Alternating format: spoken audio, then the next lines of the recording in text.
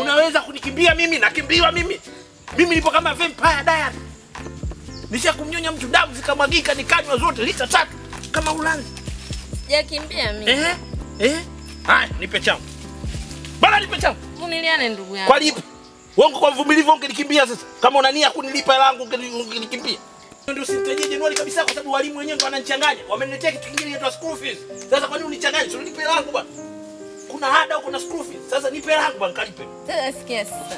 Na vikoba vyangu nacheza. Kwa hiyo. kwa hiyo nifanyeje kama? kwa mama sikujua. Ehe. Tuna nani? Eh. Tuna mwisho wa mwezi tunavunja. Wewe wewe wewe wewe. Kimbia tutakuchika. Muhuni. Hela yangu nirudishe. Watoto Januari.